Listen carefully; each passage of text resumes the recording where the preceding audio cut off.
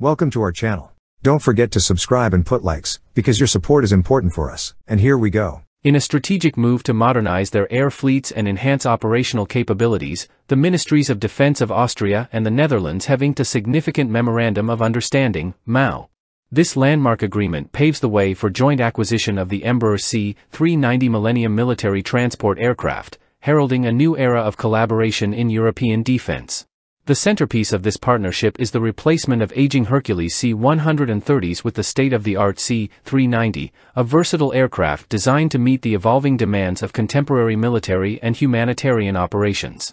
Austria, recognizing the need to retire its costly-to-maintain C-130KS, is set to procure four C-390s at an estimated cost per unit ranging between 130 and 150 million euros. The first deliveries are anticipated as early as 2026. The decision to opt for the C-390 was driven by its superior transport capabilities, capable of accommodating Black Hawk helicopters and light tanks like the Pandur Evo. Meanwhile, the Netherlands is poised to bolster its air fleet with five C-390s, a move aimed at increasing its annual flight capacity from 2,400 to 4,000 hours. This expansion is motivated by recent operational imperatives, including the 2021 evacuations from Afghanistan and escalating demands along Europe's eastern flank. The Embraer KC-390, also referred to as the C-390 Millennium, is the brainchild of Brazilian aerospace manufacturer Embraer. Unveiled at the prestigious Farnborough Airshow in 2018, this aircraft serves as a versatile platform for military transport and aerial refueling. Boasting a crew of two, the C-390 made its maiden flight on February 3, 2015, and officially entered service on September 3, 2019, following a brief delay from its initial projected launch in 2016. The development of the KC-390 entailed a substantial investment of $1.3 billion, with a unit cost hovering around $50 million.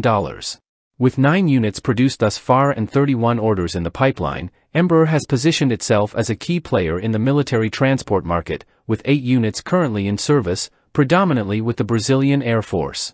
Measuring 33.91 meters in length, with a wingspan of 35.05 meters and a height of 10.26 meters, the KC-390 exudes robustness and spaciousness. With a maximum takeoff weight of 72 tons and a cargo capacity of up to 23.6 tons, it is propelled by two IAE V2500 turbofan engines, each generating a thrust of 138 kilonewtons.